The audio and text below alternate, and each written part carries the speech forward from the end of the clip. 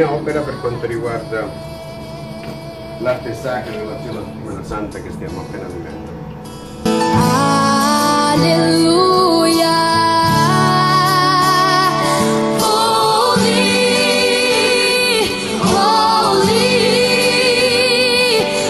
Questo è il legno della croce alternativo.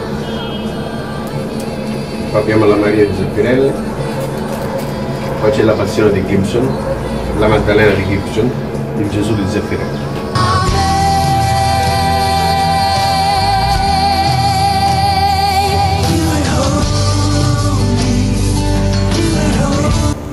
Queste sono le due Maddalene, la Maddalena velata e la Maddalena ai piedi della croce, con una postilla.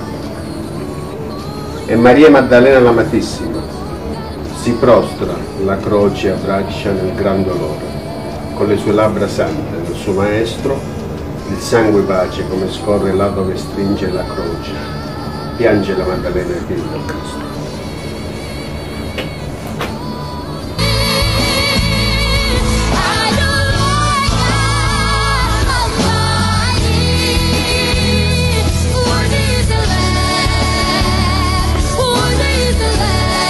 Invece questo è Cristo sulla via del Calvario, sulla via del Golgotha, con la premonizione e la crocifissione.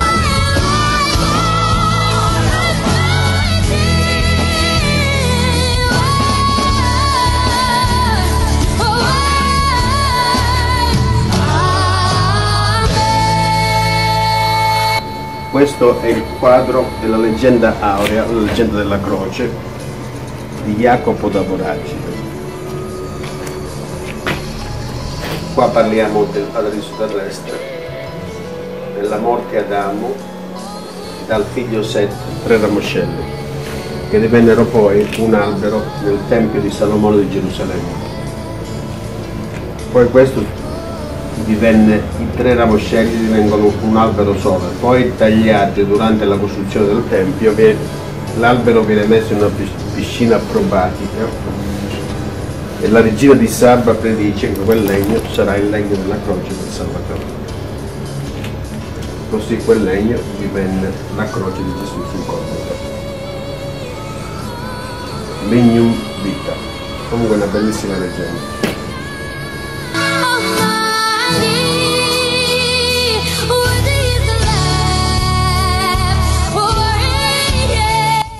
Qua c'è la, il viso del Gesù festante che entra a Gerusalemme.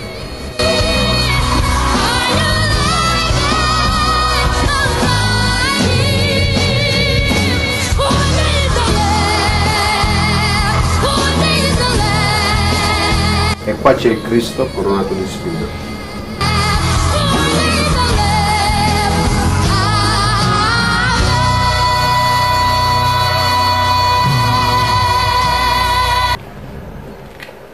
Qua siamo di nuovo, ritorniamo sulla Maddalena, Maria di Magdala e poi Migdala, ho scoperto che significa l'intrecciatrice di crini. In questo caso il sentiero di Gesù dopo la risurrezione, le orme del Cristo trafitte, con le ferite nei piedi che lasciano la traccia del sangue, con il suo sangue. But you don't really care for music,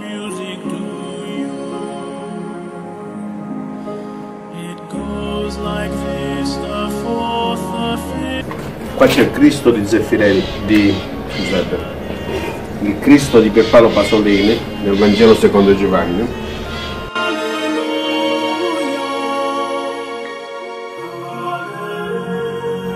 E questo è il Cristo del Zeffirelli.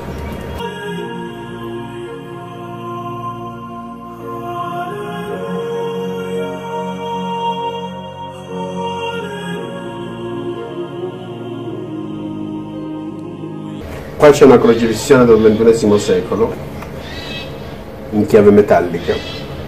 Abbiamo la, marina, la Maria ai piedi della croce che, con il volto sofferente, il Cristo sulla croce, la resurrezione e il Dio che ricrea la salvezza dell'uomo attraverso il Figlio.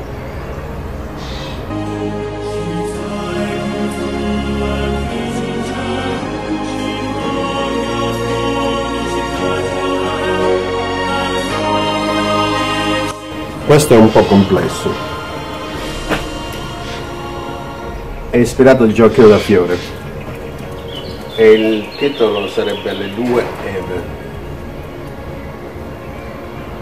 Infatti partiamo dal peccato originale. La donna come peccato il drago dell'Apocalisse la seconda Eva, che sarebbe stata Maria, che attraverso la procreazione, il sacrificio, la resurrezione del figlio, inizia la terza età dello Spirito Santo. Infatti l'angelo apre il terzo cerchio, che sarebbe questo, il cerchio dello Spirito Santo, di Gioacchino da Fiore, che sarebbe questo qua.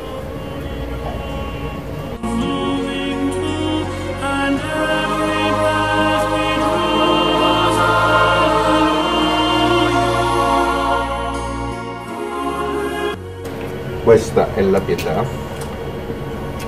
il Cristo deposto sulle ginocchia di Maria, piangente, addolorata.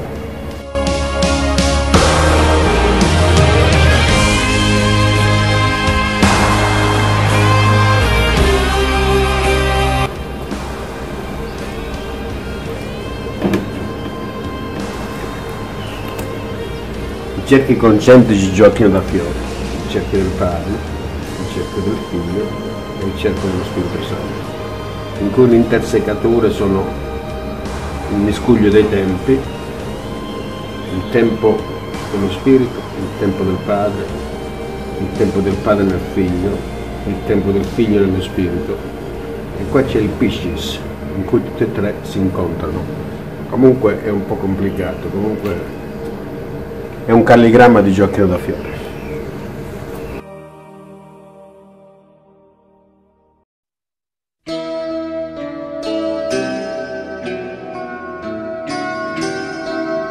Questa è una Maria con il bambino Gesù. E qua c'è Eva con la prima mela, il peccato e il Salvatore.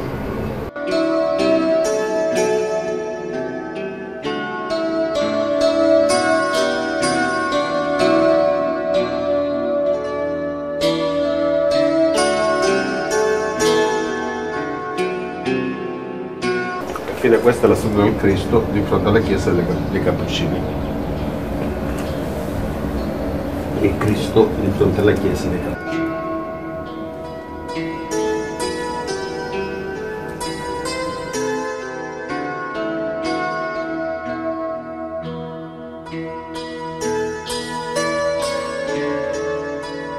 Questo è il drago rosso di Gioacchino da Fiore Sette Teste il simbolo dell'Apocalisse, la rosa carol- carolingiola o il fiore della vita, alfa e omega.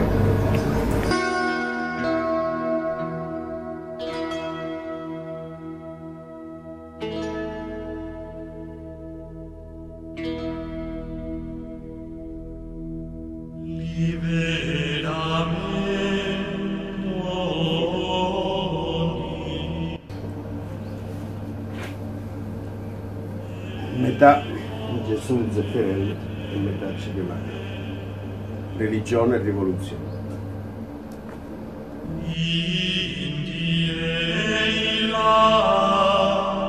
Quando